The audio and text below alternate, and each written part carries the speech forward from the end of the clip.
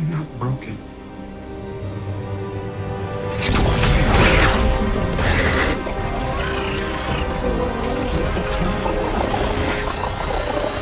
And I'm not alone. Hello, everybody. Uh, I am Nick. Joining me today is the peasant of comics, Jared from Comics League. How you doing, buddy? Uh, wait, wait, wait, wait, wait. I'm the Lord of Comics. what are you talking about? Any man who must say I am the Lord of Comics is no Lord of Comics at all. It's- anyone that says they are a phoenix is not a phoenix at all. Never claimed to be Phoenix. I'm the Phoenix Press. No, but you have. i- uh, What's your last name and your little label there, sir? My mother gave me that last name. No, she didn't, but you go. so any, anyway, Yes, so enough anyway, banter old man, aside. shall we continue? Yes. Um, we are covering the fifth episode of Teen Titans season one. Some of the parts, a, a- an episode where at first blush, it doesn't really seem like there's a lot going on, but like the more you think about it, you realize this episode probably means a lot to a very cer- cer- certain group of people. And it was kind of funny. It's fortuitous that we covered this around the uh, like after we did after we covered like the first couple issues of Teen Titans because this very clearly homages Day in the Life. I, I, would agree. And then also, um, so Jared, have you have you seen like the Teen Titans meme about like fake meat or whatever with Raven? This is where it's from. This is a meme namer. And actually, that's a piece of trivia here.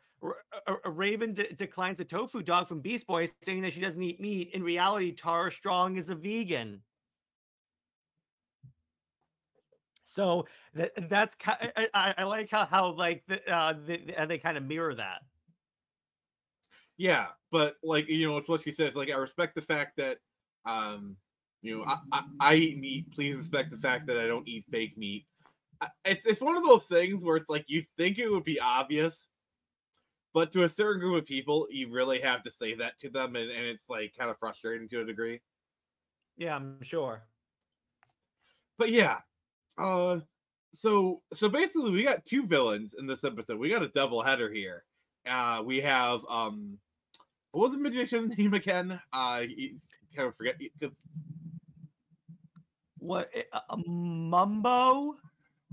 Mumbo jumbo Yeah, okay it's Mumbo. i should remember i should remember that because it's the same name as the banjo kazooie villain uh well not Oh, really okay. villain but it's a protagonist uh, he's not the kind of- real like he's not the real antagonist of the episode though. no uh the real real guy is the uh is the fixer Otherwise known as Bruce Timm. guy- I'm only kidding. I'm going to replace all the good ships with bad ships. Yes, exactly. Now I will And, and say I'm, gonna, I'm gonna take I'm gonna take one member of the Trinity and do her dirty. I I do I will say watching this episode as someone that has watched ZSJL like 16 times now, I will say there's definitely a lot of parallels in that movie to this because this is all about like cyborg and kind of saying basically saying it, it doesn't matter if you're like part cyborg or like there's something up with you, it's your heart that matters. By the way, I just realized the title of this episode. Mhm. Cyborg isn't broken and he's not alone. Ah, there you go.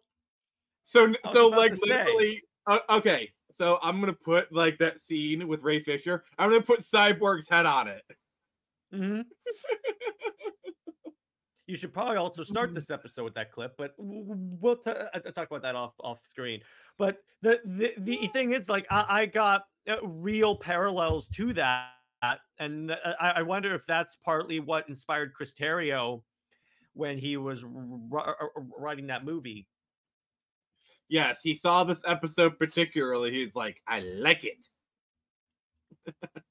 um, but yeah, it's it's really interesting because going watching this episode, I thought, you know, people, I, I bet people with prosthetics really empathize with this episode. Yeah, like they showed the kid with the prosthetics and Mhm. whatnot. Like I wouldn't be surprised. In the life.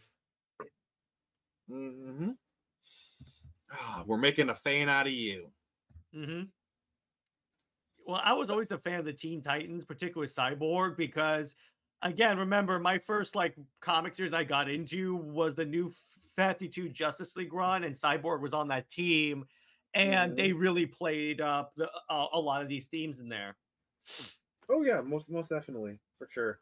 Um, but yeah, and just like I love like it's like oh I have a power battery that I have to replace every few years, and it's really I I, I, I don't know. Um, You're like saying Cy- uh, Cyborg? Uh, you're saying Cyborg is batteries not included?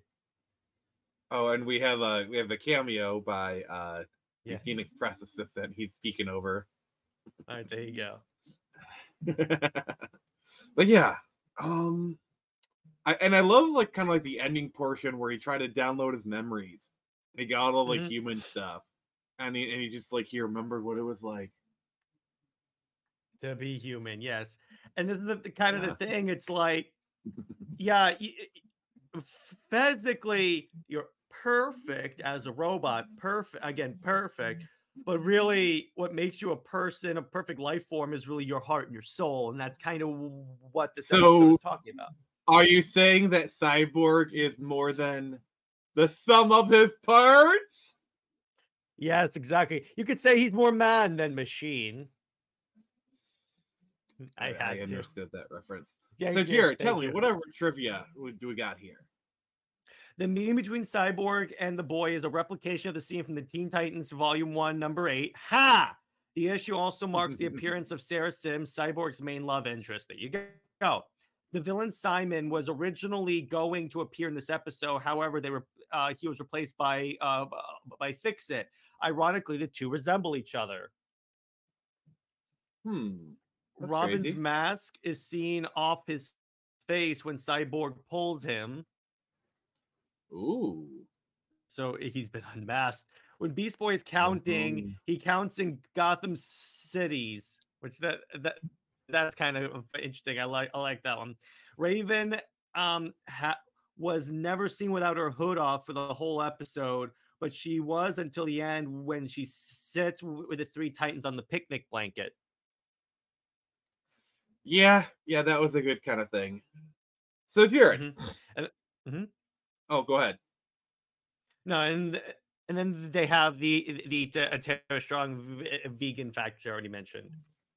Yeah, that was pretty cool. So overall, what would you get? What rating would you give this episode?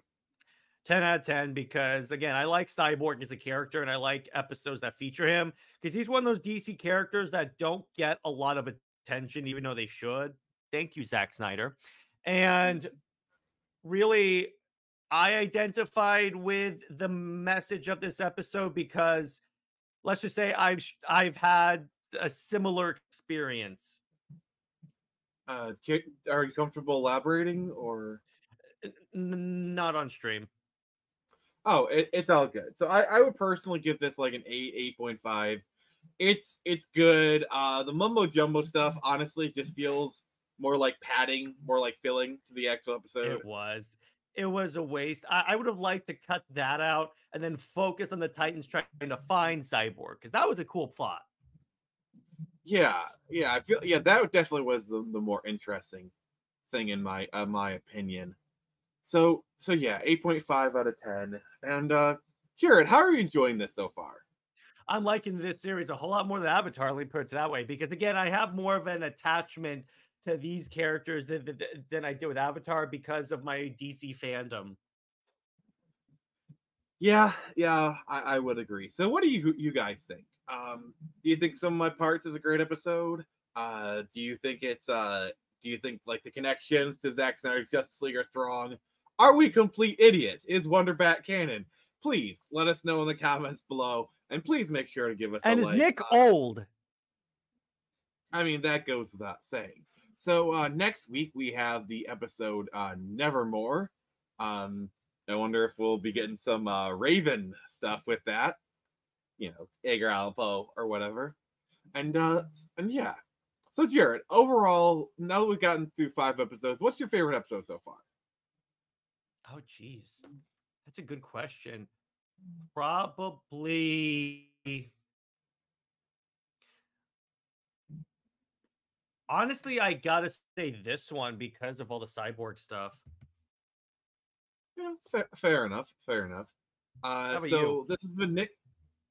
Uh, so far, I would probably say div- divide and conquer. Uh, Mhm. just because I, I do like you know Jinx and the Hive, you know the uh the shenanigans I got through. So this has been Nick and Jared, and this has been the Phoenix Press. And remember, I can only show you the door. You're the one to walk through it.